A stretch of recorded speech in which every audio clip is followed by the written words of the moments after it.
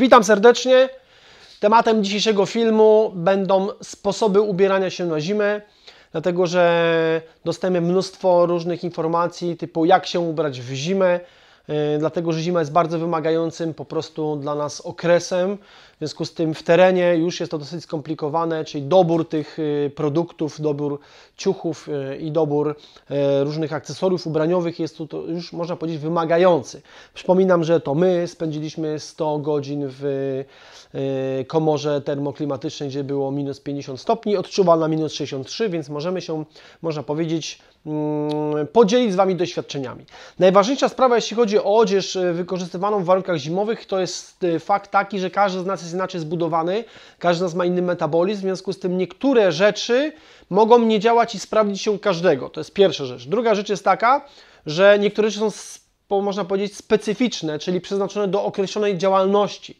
Jeśli ktoś myśli o bushcrafcie czy, czy, czy biwakowaniu w jednym miejscu, to potrzebuje zupełnie innej odzieży zimowej od tego, który zajmuje się fast and lightem i wchodzeniem na szybko gdzieś tam po górach w zimę.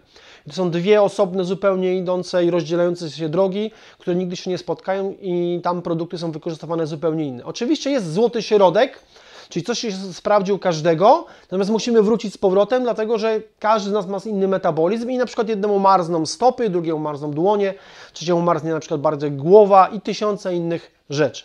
Najważniejszą rzeczą, jeśli chodzi o odzież, to jest nieoszczędzanie na bieliźnie. Dlatego, że bielizna jest tutaj kluczem, elementem najważniejszym, dlatego, że jest najbliższa ciału, w związku z tym przynosi tą temperaturę, którą Wy wytwarzacie i nie dość, że pot, który Wy wytwarzacie jest w stanie e, dalej transportować, to jeszcze zatrzymuje tą warstwę powietrza też najbliżej ciału. W związku z tym pierwsza bardzo ważna rzecz, nie oszczędzamy na bieliźnie. Można kupić tańsze buty, można kupić tańszą kurtkę, ale bielizna jest tutaj najważniejsza. No i zaczniemy po kolei, czyli z bielizny Oczywiście majteluchy i tutaj też kwestia, można powiedzieć, jest yy, preferencji osobistych. Niektórzy lubią, na przykład lubią bawełniane gacie, niektórzy lubią materiały syntetyczne, niektórzy lubią na przykład materiały syntetyczne oddychające, czy tam termoregulacyjne, bo tych nas jest bardzo dużo. Trzeba dopasować do siebie, bo na przykład jedne mogą uciskać, drugie mogą nie uciskać, natomiast trzeba pamiętać o tym, że wszelkiego rodzaju wytwory bawełniane, gdy się spocicie, a tyłek i plecy mocą się, pocą się bardzo szybko i bardzo mocno, będą utrzymywać wilgoć. A jedną z bardzo ważnych rzeczy, jeśli chodzi o odzież zimową, jest unikanie pocenia się i utrzymywania wilgoci przy ciele, które będzie Was wyziębiało bardzo szybko. Czyli jeśli używacie majtek bawełnianych i one są przy ciele, wszystko macie zajebiste, super świetne, ale majty są bawełniane, spocicie się podczas podchodzenia pod górkę, spocicie podczas budowania schronienia, wilgoć zostanie w bawełnianej ciuchach i co z tego, że będziecie mieli super ciepłe rzeczy, jeśli ta bawełna będzie Was wyziębiać, bo woda i wilgoć wyziębia 25 razy szybciej. Czyli jakie chcecie majtki nie ma znaczenia, ważne, żeby dopasować do siebie. Następną rzeczą są Kiedyś się nazywało to kalesony, dzisiaj to jest bielizna termiczna, bo to jest tak łatwiej sprzedać, nie? Czyli można powiedzieć cienkie leginsy, które zakłada się bezpośrednio na skórę. E, I tutaj dochodzimy do tematu związanego z wyborem materiału. Oczywiście tak samo syntetyczne, bawełniane zupełnie kompletnie odpadają, dlatego że ich jest po prostu olbrzymia, duża powierzchnia, więc bawełna może grzać na początku, później już nie. Natomiast y, ja tutaj przetestowałem i używam produkt z firmy Decathlon, ze sklepu Decathlon. Jest to produkt wykonany z wełny merino. 100% merynosa. Niestety ma to swoje wady i zalety i, i ja za chwilę pokażę, jak człowiek wygląda w tym pięknie. Ale polecimy od razu z górą, żeby sobie połączyć całość i się przebrać, nie? Czyli kalesony z jakiegokolwiek materiału. Góra, koszulka.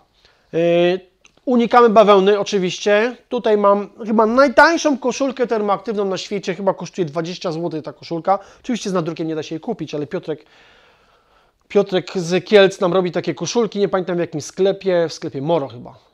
Chyba w Moro nam robi i te koszulki są wystarczające, nie? Czyli po prostu to wszystko, czego potrzebujesz. I taki koszulek ma też każda inna firma zajmująca się odzieżą termoaktywną, wykonuje super, super odzież, która gdzieś tam pracuje, natomiast jeśli koszulka kosztuje 100 zł, to znaczy, że ona jest wykonana nie wiem z czego, ze złota. Koszulka termoaktywna powinna kosztować maks 50 zł. Nie? Taka zwykła koszulka szyta zwykłymi szwami to jest do 30-40 zł, to jest absolutnie maks. Jak są szwy płaskie, koszulka jest modelowana, to wtedy rzeczywiście możemy tam 60-80 zł. Jak coś kosztuje powyżej, to musi być już super materiały, czyli trzeba się wczytać i to jest to coś, czego nie wykorzystują, nie lubią, nie robią tego ludzie, czyli nie czytają tej wszywki, co tam jest zastosowane i dlaczego to może być takie drogie. Nie? Bo tutaj na przykład mam koszulkę, która kosztuje już prawie 200 zł. Jest wykonana z wełny merynosa w połączeniu, zobaczmy sobie metkę, bo nie pamiętam dokładnie metki. To jest Icebreaker, wełna merynosa i czytamy metkę 55 procent, 52% y, wełna, 35, 35 leocel i 13 nylon. Co nam mówi o tym, że nie ma tu żadnej bawełny, Leocel i nylon to są praktycznie zbieżne materiały, czyli to jest materiał sztuczny, nylonowy. Jeszcze nie robię teraz błędu, ale zdaje mi się, że leocel jest, jest materiałem nylonowym. Natomiast 52% wełny powoduje, wełny merynosa, powoduje, że koszulka, i tutaj od razu też wrócimy sobie do kaleson, co robi ta wełna merynosa? Przede wszystkim wełna merynosa ma to do siebie, że daje takie poczucie ciepła, dlatego że zatrzymuje dużo ciepła przy ciele, więc to na zimę jest super świetna rzecz, dlatego że czujemy się dużo cieplej niż w syntetyku, niż w bawełnie. Druga sprawa, nie nasiąka zapachami, Czyli możemy chodzić w takiej koszulce 3-4 dni, przetestowałem to. Nie nasiąka zapachami, w związku z tym odzież, którą używamy, a w zimie 4-5 dni w terenie, no to się pocicie, pracujecie i to nie ma możliwości rozebrać się przy tam minus 25, przebrać koszulkę, żeby to było fajnie, wygodne, nie? I często jest tak, że macie wyprawę, zabieracie jedną koszulkę, więc musicie być pewni, że jest zajebista i na przykład wełna, wełna merynosa to daje, że jest zajebista. E, w sensie takim, że nie musicie po prostu przebierać i ta koszulka nie zatrzymuje Waszych zapachów, nie? Więc to są bardzo fajne zalety wełny merinosa. Wada jest taka, że jeśli złapie wilgoć, to bardzo długo ją utrzymuje, bo to jest wełna. I dużo ludzi mówi, że to jest świetna zaleta, bo grzeje na przykład nawet jak jest mokra. I to nie do końca jest prawda, dlatego że ta wilgoć zostaje przy ciele, ona teoretycznie grzeje, ale tak naprawdę wilgoć macie przy ciele, więc niestety ja uważam, że wełna jest zajebista wtedy, kiedy rzeczywiście przewiduje się pocić. Czyli w lato nie wykorzystuję takiej koszulki, w zimę, kiedy się pocę, to staram się tą wełnę, tą, ten element jakby najbliższy ciału brać jakby najcieńszy, żeby po prostu tej wilgoci jak najmniej zatrzymywać. Czyli kolejne koszulki z wełny merinosa nie do końca. Dlaczego nie 100%? Bo sama wełna w sobie jest bardzo materiałem takim, który się szybko zużywa. W związku z tym jest to materiał naturalny i bardzo łatwo ją zniszczyć, nie? Ok, jestem teraz ubrany, w, można powiedzieć, w pierwszy level odzieżowy, bo to bardzo fajnie sobie podzielić na levele. Czyli mam bieliznę termoaktywną, wykonaną z wełny merynosa, dlatego że zakładam, że tu się będę mniej pocił na przykład, bo już wiem, że to jest wyjazd taki, że trzeba będzie troszeczkę popracować, troszkę pójść, pomaszerować, w związku z tym nie zakładam na górę wełny merynosa, tylko zakładam koszulkę termoaktywną. Zima, więc trzeba wsadzić sobie, tam mam dźwięk, wyciągnę dźwięk. Wsadzić trzeba sobie koszulkę do, do spodni, dlatego żeby Wam ciepło, bo to jest bardzo ważne, żeby to ciepło Wam nie, nie uciekało. Nie? Idziemy dalej. Skoro mamy koszulkę, to lecimy z drugą częścią, czyli tak zwanym, y, to jest base layer, czyli mid layer, czyli forma docieplenia. I tu są teraz dwie szkoły. Albo zakładamy koszulkę z z długim rękawem, to zawsze będzie koszulka z długim rękawem, ale chodzi o grubość. Czyli cienką koszulkę z grubym rękawem i na to od razu wersję, dalej, dalszą część ocieplacza, lub na przykład możemy zastosować cztery warstwy. I dochodzimy do kolejnego tematu, czyli do tematu tego, że najważniejszym i najlepszym sposobem, najważniejszym to złe, najlepszym sposobem ubierania się na zimę jest ubieranie się na cebulkę. Dlaczego? Dlatego, że w sytuacji, kiedy pracujesz, poruszasz się, możesz regulować swoją temperaturę, ściągając różnego rodzaju warstwy. Czy wyobraźcie sobie, idziecie pod górę, zasuwacie, jesteście ubrani we wszystko, bo staliście na dole, bo minus 20 stopni. Wytwarzacie ciepło, które powoduje, że, yy, że zaczynacie się pocić, dlatego że on nie nadąża wy, wyparować przez te wszystkie warstwy odzieży. Dlatego możecie, macie szansę ściągnąć różnego rodzaju części odzieży, powodując, że to ciepło, które wytworzycie, ucieknie. Nie? I na przykład w takich warunkach, kiedy będzie teraz zima, ja bym mógł założyć na przykład cienką koszulkę, to jest akurat chyba merynosowa, ale nie jest najbliższa ciału, lub na przykład poliestrowa z długim rękawem. O! W sytuacji, kiedy no, wyobraźcie sobie, że jest, jest mroźno, jest 5 stopni, na przykład, ale idę pod górkę i się pocę, to ja mogę w tej koszulce już pracować, nie marzną mi łokcie, nie marznie mi tułów, ja mogę w niej zasuwać pod górę na przykład, nie? Oczywiście takich koszulek mogę wybrać różnego rodzaju, to jest na przykład 100% Merynosa z Decathlonu, też można kupić, od będę odrzucał na boczek. To jest Icebreaker Merynosa, który jest grubszy i kosztuje 400 zł, kupiony na szmatach za 5 zł, czy nie trzeba wcale wydawać mnóstwo pieniędzy. Yy, o, to jest na przykład Patagonia, też Merynos w połączeniu z jakimś ma, z materiałem. Też taki można powiedzieć troszeczkę ni to base layer, ni to mid layer, czyli coś grubszego. Bardzo fajna rzecz i myślę, że poświęcimy jej 51% merino, 49% poliester. Czyli większość firm wyszło z założenia, oprócz Decathlona, żeby łączyć materiały merynosowe, żeby ty po prostu ten, ten, ta nasza odzież przetrwała dużo dłużej. Nie? Ok, mamy górę, mamy dół. Na razie nie mówimy o skarpetkach, to będzie temat na dodatki. Lecimy ze spodniami. I teraz tak. Jest oczywiście tysiące możliwości, jeśli chodzi o spodnie. Ja tu mam też kilka, liczyłem w domu przed filmem, 35, pary spod, 35 par spodni różnych firm. Yy, I dochodzimy do tego, że też po pierwsze, preferencje osobiste, czyli w tych mi jest wygodniej, w tamtych jest niewygodniej, tym się ciągną, tym się ciągną. Preferencje materiałowe, czyli są rozciągliwe spodnie, są mieszanki spodniowe, czyli rozciągliwe z nierozciągliwymi, są y, materiały bawełniane, są materiały nylonowe, więc już dochodzimy. Kwestie finansowe, czyli mamy bardzo drogie spodnie i kwestie finansowe, czyli mamy bardzo tanie spodnie, nie? I na przykład jeszcze kwestie designerskie, czyli można powiedzieć takie, wiecie, o, w tych spodniach człowiek wygląda fajnie albo czuje się w nich dobrze, dlatego że są drogie, nie? Za każdym razem dopasowujemy do siebie. Najtańsza opcja, bo będę starał się Wam pokazać opcje droższe i tańsze, to są spodnie z demobilu. Czyli na przykład tutaj mam stare jak świat, chyba mają 20 lat, jak nie więcej, albo może mniej, coś koło tego. Stare spodnie BDU z naszytymi łatami z kordury, które są wykonane z materiału Nike 50 na 50 które w zimę ma to do siebie, że na przykład jeśli maszerujecie przez zimę, przez śniegi, to tył nogawki od wyciągania nogi ze śniegu, po prostu tył nogawki Wam strasznie moknie od śniegu i ma to też tą wadę, że bardzo długo takie spodnie schną, czyli wchodzimy do śpiwora i syntetyki bardzo szybko wyschną, a takie spodnie będą wymagały niestety zaangażowania w suszenie. Trzeba będzie po, przy ognisku troszeczkę popracować, nie? Więc też coś za coś, natomiast na pewno zaleta ekonomiczna, czyli tanie, bo spodnie Bundeswehry można kupić dzisiaj za 20-30 zł używane, a spodnie BDU za 50-60 zł, a jakieś inne lepsze za stówkę czy tam coś takiego, nie? Więc pierwsza opcja to są spodnie z demobilu. Inną opcją może być z demobilu, może być, y, bo z demobilu ciężko dostać rozmiary, natomiast wiem, że Helikon robi też y, bardzo dobre kopie. Y, jest wykorzystanie spodni M65, dlatego że to był zestaw zimowy. Nie? Ja osobiście tego nie preferuję, dlatego że spodnie M65 są z bardzo grubego materiału, z bardzo grubej wersji. Przepraszam.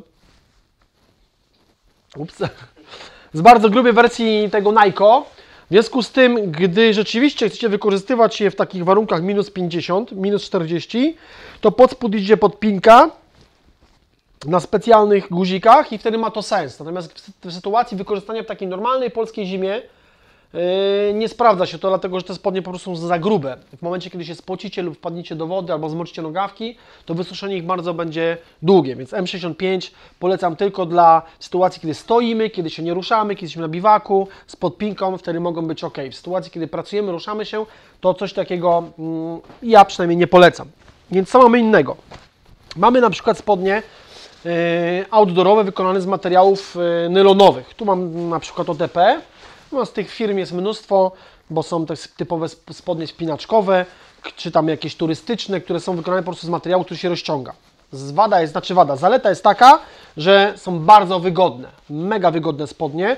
Druga y, zaleta jest taka, tych spodni nylonowych jest taka, że bardzo szybko schną czyli też pracujecie, idziecie przez śnieg, spociliście się, spadł na Was śnieg albo coś innego, więc te spodnie wysychają nawet w trakcie użytkowania, a jak zabycie do śpiwora, to od razu praktycznie, nie? Więc to jest ich bardzo duża zaleta. Wada jest taka, że przy kontakcie z iskrami z ogniska wypalamy dziury. Więc niestety coś dla kogoś, nie? Yy, OTP są świetne w przedziale temperaturowym takim do bez, mówimy bez, yy, bez kaleson, bez odzieży takiej termicznej, w temperaturze takiej do tych 5, 7, 10 stopni, to jest ok. Później nylon ma to do siebie, że jak w kontakcie z ciałem jest, to zaczynamy czuć taką, y, taki chłód, więc jeśli założycie y, bieliznę termiczną, to one później spokojnie do takich temperatur naszych zim do minus 15 z, z odzieżą y, termiczną pod spodem wytrzymują. Wada jest, tak jak mówię, taka, że może wypalić dziurę. Jeśli chodzi o wygodę, super, nie? Dalej mamy drogie. To jest rozwiązanie pośrednie cenowo, bo te spodnie nie są najtańsze. No a tu mam na przykład znowu hmm, spodnie z kosmosu, czyli spodnie, które teraz kosztują chyba 900 zł. Połączenie materiału rozciągliwego z materiałem nierozciągliwym, czyli to są spodnie Fjellraven Keby, więc to jest rozwiązanie pośrednie, czyli połączenie dwóch różnych materiałów. Zaleta jest taka, że wypalenie dziury jest kłopotliwe, no bo w tych, na kolanach, gdy siedzicie przy ognisku, to te dziury z reguły wypala się właśnie na kolanach czy nogawkach. Yy, zauważyłem, że w tym modelu jest na przykład, yy, i to sprawdziłem yy, osobiście, yy, z tyłu, gdzie idziemy przez śnieg, jest materiał, który jest wykonany z poliestru i z bawełny i on się niestety moczy. Schnie szybko, bo ta mieszanka to jest 65% poliester, 35% bawełna, więc to jest materiał, który ma bardzo dużą wytrzymałość na kolor, na, na blaknięcie, na rozdarcia, ale także szybko schnie. Ale jednak gdyby z tyłu był zastosowany materiał nylonowy w całości i to zastosowaliśmy w spodniach HOP, to byłoby lepiej, ale HOP jeszcze nie ma. Więc tu rozwiązanie mamy pośrednie, wygodne gacie, natomiast mają jedną wadę. Zobaczcie, jak to się wymyślił. Jeśli wsadzicie coś do tej kieszeni, to automatycznie ta rzecz będzie cięższa. To zobaczcie, jak ten softshell pracuje luźno. Więc ja dwa razy obtarłem sobie po prostu pachwiny, dlatego że napchałem rzeczy do kieszeni i one po prostu pracowały. W związku z tym już wiem, że nie wsadzam tutaj żadnych ciężkich rzeczy do tej kieszeni. One po prostu na luźno wtedy są, wtedy są ok. W innych sytuacjach chciałbym, żeby ten element tutaj na przykład był wzmocniony, żeby po prostu się ten dół nie rozsuwał. No wada jest taka, że spodnie kosztują teraz 900 zł, więc niestety trzeba szukać czegoś innego, nie? Tu mam, o to zacznijmy dalej od Phil Ravena.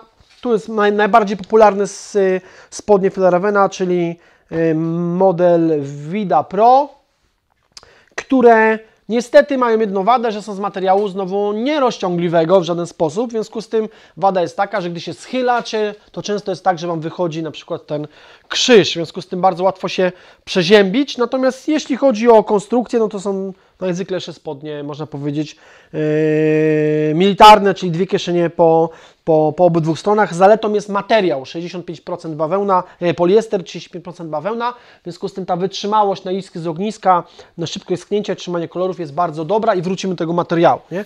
I później mam rozwiązanie pośrednie, czyli spodnie mieszane, czyli na przykład to są nowe UTP Flexy z dodatkiem materiału rozciągliwego na tyłku i w kroku.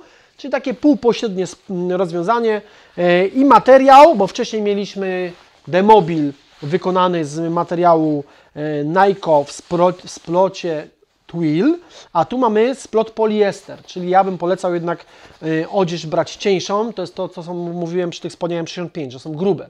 Tu zakładam jedną warstwę, drugą warstwę, ta warstwa jest cienka, ta warstwa jest cienka, w środku macie warstwę powietrza, i wtedy możecie, że tak powiem, poruszać się. Jak będzie za ciepło, to kalesonki można ściągnąć. Jak będzie za zimno, zawsze można wybrać grubsze kalesony, nie? Bo mało jest takich wyjazdów typu jedziecie w teren, gdzie patrzycie, o jak tam będzie, no 2 stopnie, jedziecie, a tam będzie minus 30. To się tak raczej nie zdarza w zimę. Raczej jedziecie i widzicie, że będzie minus 15 do minus 20, wtedy już możecie na przykład wybrać cieplejszą bieliznę, nie? Ja zakładam teraz tą odzież i za chwilę będziemy ubrani już w te spodenki.